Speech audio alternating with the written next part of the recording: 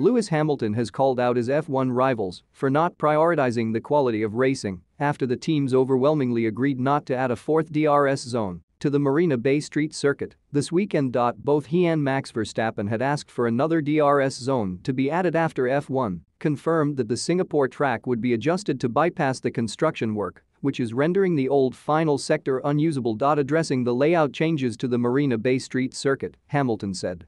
I don't think, at the moment, there'll be more overtaking. Well, maybe there'll be a slightly better overtaking into turn 7, just because the track is better through that first couple of corners.